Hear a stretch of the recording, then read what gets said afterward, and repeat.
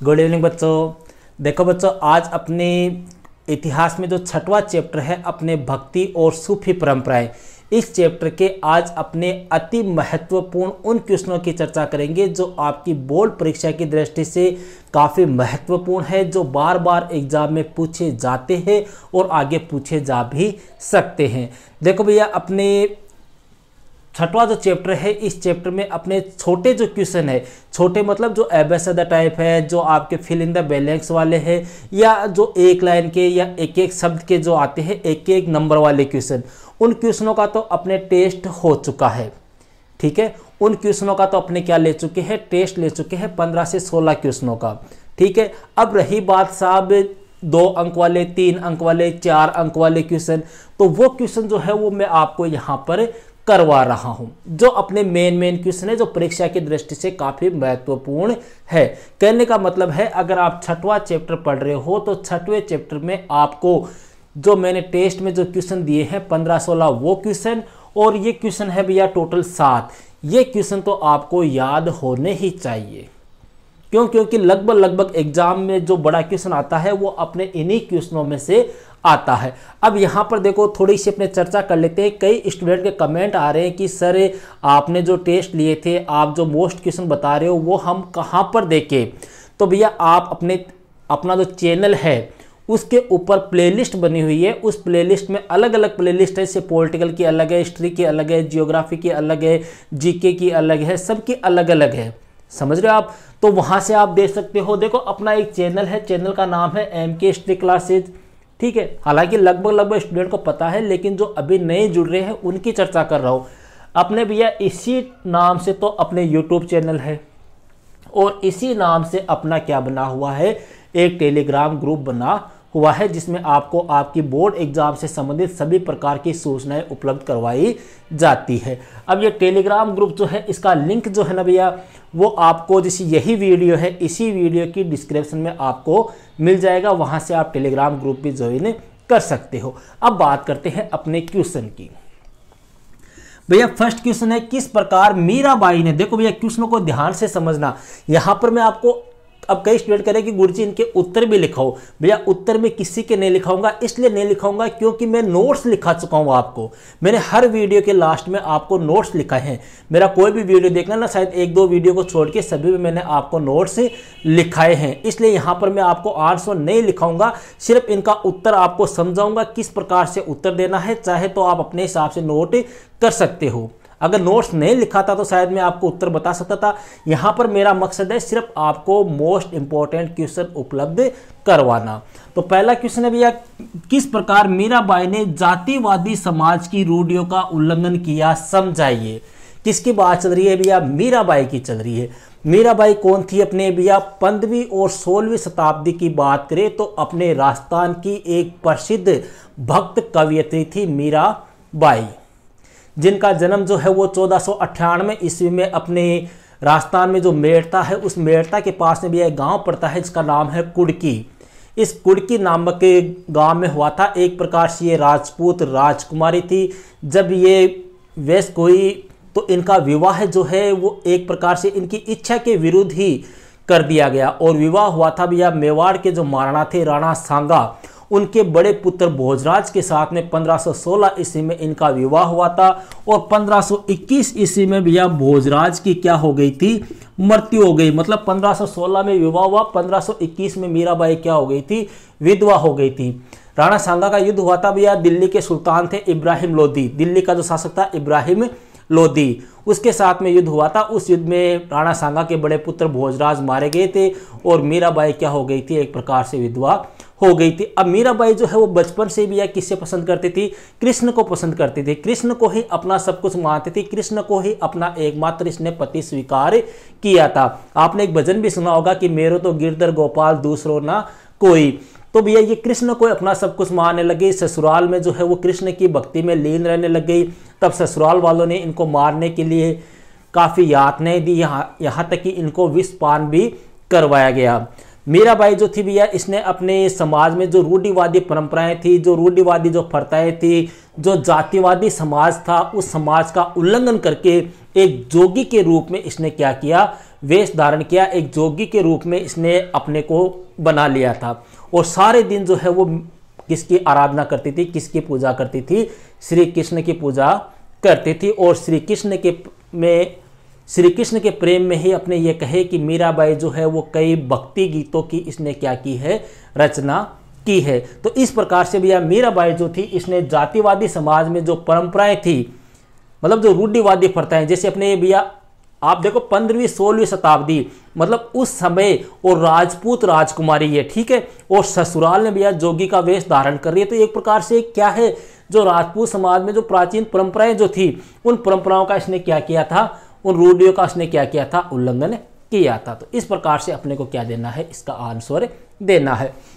अब कई स्टूडेंट कहते हैं कि गुरुजी, थे बोलो जना तो समझ में आ जाए, लेकिन याद किया करा। तो बच्चों, देखो, सीधी सी बात है, याद करने का सिस्टम यह है, या तो आप किताब से याद कर सकते हो। अब किताब में ये दिक्कत आ रही है कि गुरुजी किताब में खटैसो खटता नहीं याद करा। तो आप मेरे नोट से याद कर सकते हो। अगर नोट से भी आपको याद ना हो तो आप पासबुक वगैरह डेस्क वर्क वगैरह, जो भी आपको बेटर लगे, वहाँ से आप याद कर सकते हो। लेकिन इन क्वेश्चनों को आपको ज़रूर से तैयार करना है। सीधी सी बात, ये सोचनी है आपको। कि अपने को चाहे कहीं से पढ़ो मैटर कहीं से भी आओ, लेकिन अपने को इनके आंसर आने चाहिए भैया। पंद्रह क्वेश्चन तो अपने हो गए टेस्ट के प्लस सात क्वेश्चन ये हो गए। पंद्रह और सात, बाईस मतलब छठवें चैप्टर में भैया आप एक्स्ट्रा पढ़ते हो तो बहुत अच्छी बात है, लेकिन ज़्यादा से ज़्यादा आपको ये क्वेश्चन तो आने ही चाहिए। अगर इससे भी ज़्यादा आप पढ़ते हो तो बहुत अच्छी बात है, आप और तैयारी कर सकते हो, लेकिन हर हालत में आपको ये क्वेश्चन तो तैयार होने ही चाहिए। ठीक है? दूसरा है भैया, आलवार और नैनार संतों के बारे में आप क्या जानते हो? इनमें स्त्री भक्तों का योगदान बताइए। अब देखो भैया, आलवार और नैनार। अच्छी तरह से पढ़ाया हुआ मेरा। कहाँ पे थे ये दोनों ही? तमिलनाडु में थे। आलवार और नैनार कहाँ थे? दक्षिण भारत में थे। तमिलनाडु में थे भैया। आलवार किनको बोलते हैं? जो विष्णु भक्त जो विष्णु की पूजा करते विष्णु की आराधना करते उनको क्या कहते हैं? आलवार। और जो शिव की पूजा करते शिव की उपासना करते शिव का गायन करते, उनको क्या बोलते हैं? नयनार बोलते हैं भैया। ठीक है? अब ये जो आलवार थे, वो अपने जो इष्ट देव थे, अर्थात विष्णु, भगवान विष्णु, उनकी स्तुति करने के लिए, उनकी आराधना करने के लिए क्या करते थे? भजन गायन करते थे जगह जगह ये भ्रमण करते थे, मंदिरों में निवास करते थे और इनके फिर जो आराध्य देव थे, इनकी राजाओं के द्वारा इनके मंदिरों का निर्माण भी करवाया गया। जबकि जो नयनार तो थे भैया नयनार क्या करते थे, ये एक प्रकार से भजन गायन नहीं करते थे। ये शिव की पूजा करने के लिए, शिव की उपासना करने के लिए खटोर तप करते थे। तपस्या करते थे, ये भयंकर आराधना करते थे। अब यहाँ पर इनमें पूछा है कि इनमें स्त्री भक्तों का क्या योगदान था? तो स्त्री भक्तों की बात करें तो भैया, आलवार में तो स्त्री भक्त कौन? अंडाल। अंडाल कौन थी? आलवार में स्त्री भक्ति मतलब एक महिला थी, इसने स्वयं को क्या कहा था? विष्णु की प्रेसी कहा था। अंडाल जो थी, इसने कहा कि मैं तो विष्णु की क्या हूँ? प्रेसी हूँ, विष्णु की प्रेमिका हूँ और अपने भक्ति गीतों को इसने छंदों के माध्यम से क्या किया था? व्यक्त किया था। नयनार की बात करें, भैया शिव भक्ति परंपरा की तो नयनार जो था, इसमें भैया जो भक्ति ये स्त्री भक्त जो थी, उसका नाम था करईकाल अम्मियार क्या नाम था? करईकाल अमियार। ठीक है, ये आपको बताया हुआ मेरा कोई विशेष नहीं है। करेकाल अमियार जो थी, वो कौन थी? नयनार स्त्री भक्त थी। इसने भी यह अपने एक प्रकार से भजन गीतों का सहारा नहीं लिया। इसने कौन सा मार्ग अपनाया? वही तप मार्ग अपनाया। तपस्या की। इसी तपस्या के माध्यम से इसने क्या की? शिव की आराधना की। इस प्रकार से अपने कह सकते हैं कि भैया, जो आलवार और नैनारों में जो स्त्री भक्ति, उन्होंने एक प्रकार से जो पुरुषात्मक सत्ता थी या पुरुषात्मक जो समाज था, उसको क्या दी? चुनौती दी। ये हो गया भैया अपना सेकंड क्वेश्चन थर्ड क्वेश्चन अब देखो कई स्टूडेंट को याद तो होता है, लेकिन गुरुजी आंसर देवोगे नहीं। तो भैया आंसर ऐसे देना पड़ेगा आपको। आंसर आप सीखो कि उसमें पूछा क्या है? छोटी सी बात है, आलवार और नैनार संतों के बारे में क्या जानते हो? पाँच सात लाइन लिख दो भाई साहब। ये विष्णु के थे, ये शिव के थे, ये ऐसे पूजा करते, ये ऐसे पूजा करते थे, दक्षिण भारत में रहते थे। ठीक है फिर महिलाओं के बारे में पूछा है, महिलाएँ कौन थी? इधर थी अपने अंडाल, इधर थी अपने करेकाल अम्मियार ठीक है? उनके बारे में वर्णन कर दो, ये लो आंसर हो गया। ठीक है, अब बात करते हैं भैया, ये क्वेश्चन भी काफ़ी मोस्ट है, कर्नाटक की वीर शैव मत परंपरा पर एक टिप्पणी लिखी है। वीर शैव मत परंपरा। देखो, कहा था भैया ये वीर शैव मत परंपरा? अपने कर्नाटक में थी और कब थी? बारहवीं शताब्दी में। बारहवीं शताब्दी में वीर शैव मतलब ये भी किसकी पूजा करते थे, किसकी उपासना करते थे? शैव की उपासना करते थे, शिव को मानते थे एक प्रकार से कहे कि यह शैव आंदोलन था। और इसको भैया अपने क्या कहते हैं? लिंगायत भी कहते हैं। क्यों? क्योंकि ये क्या धारण करते थे भैया? लिंग धारण करते थे। अब इनकी अपने शिक्षा वगैरह की बातें करें तो शिक्षा वगैरह कह सकते हैं कि भैया ये शिव की आराधना करते थे, शिव की पूजा करते थे, शिव की तपस्या करते थे और क्या धारण करते थे? लिंग धारण करते थे। दूसरी बात अपने कह सकते हैं कि भैया वीर शैव मत परंपरा को जो मानने वाले हैं, वो पुनर्जन्म में विश्वास नहीं करते, वो पुनर्जन्म को नहीं मानते थे। वो कहते थे कि अगर आदमी की मृत्यु हो जाती है तो वह आदमी जो है वो सी में विलीन हो जाता है, उसका कोई पुनर्जन्म नहीं होता। इसके अलावा यह आपने कह सकते हैं कि वीर शैव मत परंपरा के जो थे, वो ब्राह्मणवाद का विरोध करते थे। मतलब ब्राह्मणों के द्वारा जो पूजा पाठ, यज्ञ वगैरह, हवन वगैरह ये किए जाते थे, उनका क्या करते थे? ये विरोध करते थे। इसके अलावा कह सकते हैं भैया, वीर शैव मत परंपरा के जो थे, या इस परंपरा को जो निम्न वर्ग के लोग थे, उन निम्न वर्ग के लोगों ने इनको काफ़ी सपोर्ट किया, उन्होंने इनका काफ़ी साथ दिया और कन्नड़ भाषा के माध्यम से इन्होंने अपने संदेशों का, अपनी शिक्षाओं का, अपने आदर्शों का प्रचार प्रसार किया। ओके? ये हो गया भैया अपना कौन सा क्वेश्चन तीसरा। अब बात करते हैं क्वेश्चन नंबर चार। सूफी आंदोलन और भक्ति आंदोलन की विचारधाराओं में कौन कौन सी क्या थी भैया? सिमिलरिटीज थी। मतलब सूफी आंदोलन भी हुआ था, भक्ति आंदोलन भी हुआ था। अब बात यह आती है कि साहब, इनमें समानताएँ क्या थी? कोई दो, तीन, चार समानताएँ बताओ। ठीक है तो समानताएँ क्या थी भैया? सूफी आंदोलन और भक्ति आंदोलन। दोनों ही भैया एकेश्वरवादी थे। कैसे थे? एकेश्वरवादी। एकेश्वरवादी का मतलब अल्लाह ईश्वर एक है। समझ रहे हो? दोनों ने मतलब ये कहा कि इस परम सत्ता को चलाने वाला एक ही ईश्वर है मतलब इन्होंने एकेश्वरवाद पर बल दिया। दूसरा आपने कह सकते हैं कि इन्होंने अपने सहनशीलता और समन्वय की भावना का विकास किया। सहनशीलता का मतलब समन्वय की भावना का मतलब कि सूफी और भक्ति परंपरा के जो संत थे, इन्होंने भी यह हिंदू मुस्लिम एकता के ऊपर बल दिया। इन्होंने आपस में मिलजुल कर रहने साथ साथ रहने के ऊपर क्या दिया? ज़ोर दिया। तीसरा अपने कह सकते हैं भैया मानवतावाद। यह सूफी और भक्ति परंपरा के जो संत थे, उन्होंने मानवतावाद अर्थात मानव के महत्व को समझा, मानव के महत्व पर बल दिया। इन्होंने कहा कि सभी मनुष्य जो है वो क्या होते हैं? समान होते हैं। कोई छोटा नहीं है, कोई बड़ा नहीं है, कोई अमीर नहीं है, कोई गरीब नहीं है। इसके अलावा यह इन्होंने गुरु की महिमा का भी गुणगान किया। मतलब इन्होंने कहा कि गुरु जो है वो सबसे बढ़कर होता है। गुरु की महिमा जो हो, वो एक प्रकार से अपरंपार होती है। गुरु से बढ़कर कुछ भी नहीं है। गुरु ही जो है, वो हमें एक प्रकार से भव सागर को पार कराने में हमारे क्या करता है? सहायता करता है। हमारे सामने जो अंधकार होता है, उसको दूर करने में गुरु ही हमारी मदद करता है। इसके अलावा यह इन्होंने भक्ति और सुप्य परंपराओं ने मानव मात्र से प्रेम का संदेश दिया कि मतलब सभी लोगों से हमें क्या करना चाहिए?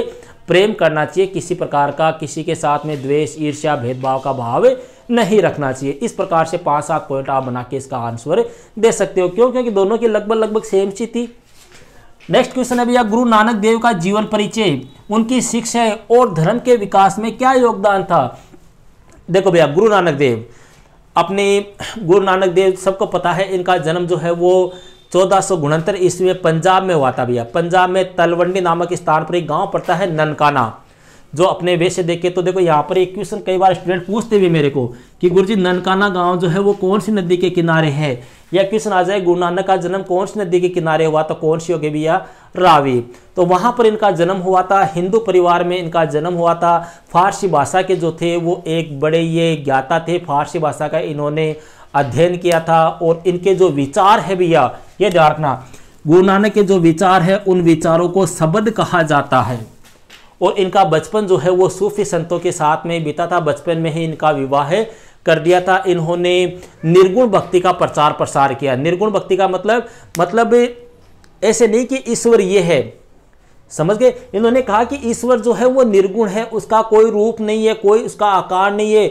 वो तो कण कण में क्या है? व्याप्त है। इसके अलावा इन्होंने जो बाह्य आडंबर थे भैया भाई ये जो आडंबर है, फरताए हैं, उनका भी क्या किया? विरोध किया। भाई आडंबर मतलब जैसे यज्ञ वगैरह करना, हवन वगैरह करना, मूर्ति पूजा वगैरह करना, कठोर तपस्या वगैरह करना, इन्होंने कहा कि ये सब बकवास बातें हैं। इन्होंने कहा कि आप स्मरण करो, ईश्वर का नाम जपो आप, वही सबसे बेस्ट है।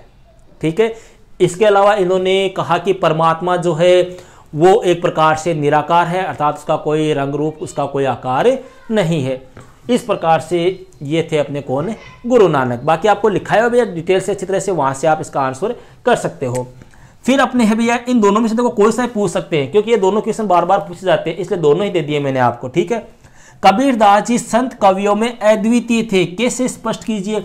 इसमें भी भैया वही करना है, अपने कबीरदास का जन्म किस प्रकार से हुआ, उनका लालन पालन पोषण किसने किया, जुला परिवार में हुआ था, और वो स्टोरी अपने कर सकते हैं। फिर इसमें आप लिख देना कि कबीरदास जी के नाम से तीन विशिष्ट परिपाटियाँ जो है वो संकलित की गई। जैसे अपने, एक तो है कबीर बीजक। कबीर बीजक कहा है भैया अपने जो यूपी या वाराणसी का जो क्षेत्र है भैया वहाँ पर जो कबीर की वाणियाँ है, वो कबीर बीजक में संकलित की गई है। एक है भैया अपने कबीर ग्रंथावली। कबीर ग्रंथावली कहाँ है? अपने राजस्थान के अंदर। राजस्थान में जो कबीर की अपनी वाणी है, उसको किसमें संकलित किया गया है? कबीर ग्रंथावली में। एक है भैया आदि ग्रंथ साहिब। तो ये तो क्या है? कबीर के नाम से तीन विशिष्ट परिपाटियाँ हैं। इसके अलावा या कबीरदास जी जो थे, उन्होंने भी बहुदेवाद, मूर्ति पूजा, इनका क्या किया? विरोध किया। इन्होंने कहा कि ईश्वर जो है वो एक ही है, उसी के अलग अलग नाम है।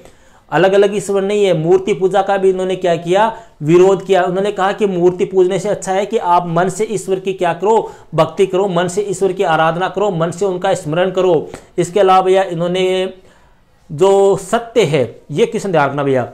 कबीरदास जी जो थे, उन्होंने सत्य को अल्लाह खुदा हज़रत और पीर कहा था। ये ध्यान रखना आप। कबीरदास जी जो थे, उन्होंने अल्लाह को, सत्य को क्या कहा था कि सत्य है, वह क्या है? अल्लाह है, वही खुदा है, वही हज़रत है, वही पीर है। और इन्होंने भी एक प्रकार से ईश्वर के निराकार स्वरूप पर या निराकार बर्मा के ऊपर इन्होंने क्या दिया था? बल दिया था। इसके बाद में सातवां भैया भारतीय उपमहाद्वीप में चिश्ती सिलसिले की जीवन की गतिविधियों एवं चिश्ती उपासना के प्रमुख केंद्रों की व्याख्या कीजिए। यह आपको लिखाया हुआ है अच्छी तरह से। चिश्ती सिलसिला कब आया था भैया? अपने भारत में बारहवीं सदी में आया था। ठीक है, अपने इसकी नींव डाली थी अजमेर के अंदर, मोइनुद्दीन चिश्ती ने। ठीक है, जो मोहम्मद गौरी के साथ में बारहवीं सदी में कहाँ आए थे? भारत आए थे और यह एक प्रकार से सबसे प्रभावशाली चिश्ती संप्रदाय था। फिर इसमें आप जो खानका है, उनका खानका में जो जीवन होता था, उसका वर्णन कर सकते हो। खानका में जो लंगर व्यवस्था थी, उनका वर्णन आपको करना है। फिर मोहन चिश्ती के जो उत्तराधिकारी वगैरह थे, उनका वर्णन कर दो। फिर इनके जो केंद्र है भैया, केंद्रों में आपके कौन कौन से, जैसे मेन केंद्र तो अपने राजस्थान में हो गया, अजमेर। इसके बाद में भैया दिल्ली है, इसके बाद में भैया अजोधन है, पाकिस्तान में। ये क्वेश्चन आया हुआ है भैया, डार्क नाम? अभी हाफ़ ईयरली में पूछा था कि अजोदन कहाँ पर है? तो अजोदन कहाँ पर है? भैया पाकिस्तान में है। यह भी अपने सूफी संप्रदाय जो था या चिश्ती संप्रदाय था, उसका एक क्या है? प्रमुख केंद्र है। तो ये थे भैया अपने पाठ छः भक्ति और सूफी परंपरा से संबंधित छः अति महत्वपूर्ण पर्सन इनको आपको ज़रूर से एग्ज़ाम में जाने से पहले तैयार करके जाना है। ओके भैया तो मिलते हैं नेक्स्ट वीडियो में एक नेक्स्ट टॉपिक के साथ।